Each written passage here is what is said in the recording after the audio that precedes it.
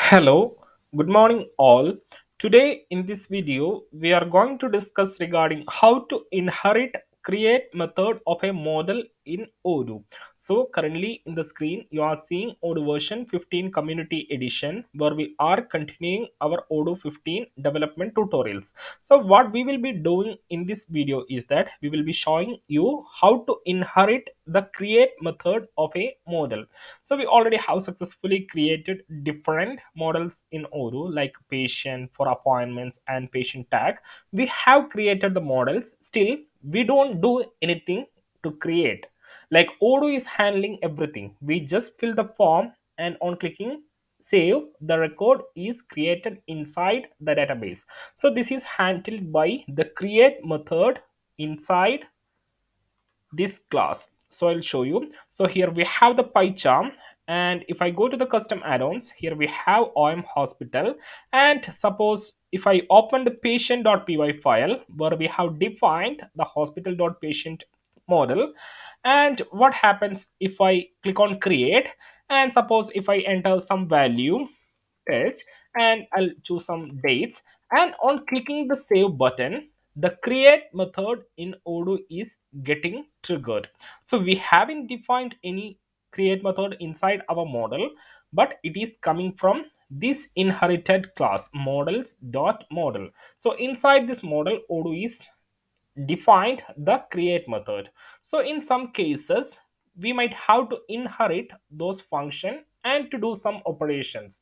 So what I can say, suppose if this patient if we need to generate some unique ids so if you go to any hospital there will be a unique id for each patient which will be created automatically upon creating the record. So in odoo suppose if you are creating a patient master and if you need to generate a sequential value or sequence for the patient we can do it by overriding the create method. That is whenever we save or whenever we create a new patient system has to generate a sequential value like hp001 hp002 like each patient there should be a unique sequence. So for that purpose also we have to inherit the create method. So let's see how we can inherit the create method of hospital dot patient model. It's same as how we inherit the normal model. So i'll go to the PyCharm and what we have to do we have to define like this. def create. So this is the function. Self comma vals super we have to use super in order to override a function. So if you didn't use super it will be like we we are rewriting the current function. So i'll use super super class name self comma create then i have to pass vals here. I have to copy this vals to here. So this is how we can inherit the create method in Odoo. Also, you have to for create method, you have to give at API model decorator. So whenever you inherit the create method, make sure that you have given this decorator at API. We have, we have imported API at API dot model decorator has to be given. So this is how we can inherit the create method in Odoo. So in order to understand that this function is getting executed, what I will do simply, I will add a print statement that is print Odoo mates. And what I will do, I'll just restart the service. I'll clear the log and I'll go to the UI and let me click on save now. So we already have opened a record entered name date of birth is entered. And if i click on save we have an error. Object has no attribute id so i think its error is coming from here. So let me return. I think as i haven't returned the error is coming. So i just add a return here. And let me restart and if I click on save again you can see the record has been created successfully. And if you check the log so here we have the log and here you can see Odoo mates has been get printed in the log. That means the function has been executed successfully. Now what we can do? I'll create another patient and i'll do one more thing. Let me print this val so here we have an argument vals so let me print and see what we have inside the vals so i'll just restart again.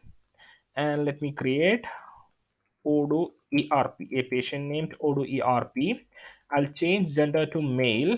I will add tag vip and date of birth. I'll choose 2014 june 1 and if i click on save and if you check the log here you can see image is coming though. So these are the things that we received inside this vals so here you can see as we haven't supplied any image image field. So all the fields inside this model will be coming here.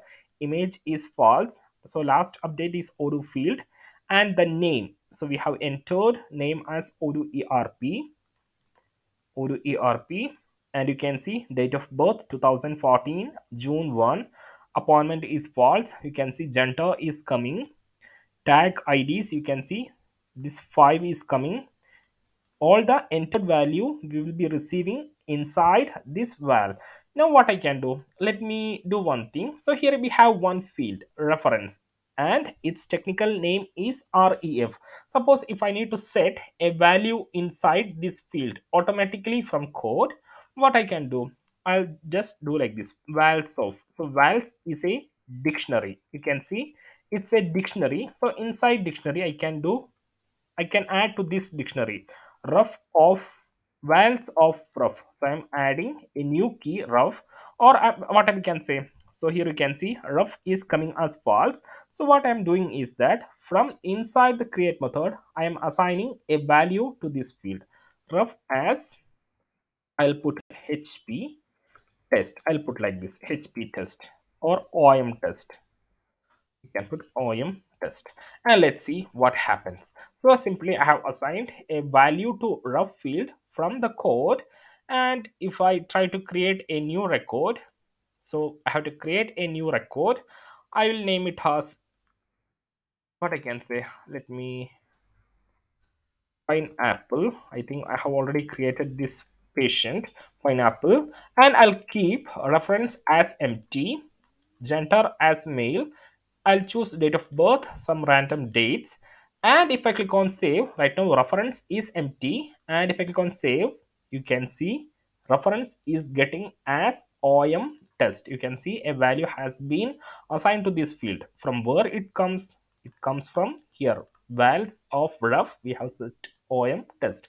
Now if you create another patient test 2 and you put some value here ccc and date of birth let it empty.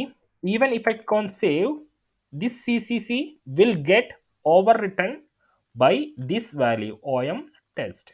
So if i click on save you can see rewriting. So here the vals is coming and this vals is going to the original create method. So we are here we are rewriting if even anything user enters in the form we will be setting back as om test and it will go to the original create method and get returned into the database. So this is how you can inherit the create method in odoo. So i hope you understood this video. If you like the video please do click the like button and subscribe the channel and support us by having a comment sharing with your odoo friends so that's it for the day. Have a nice day. Thank you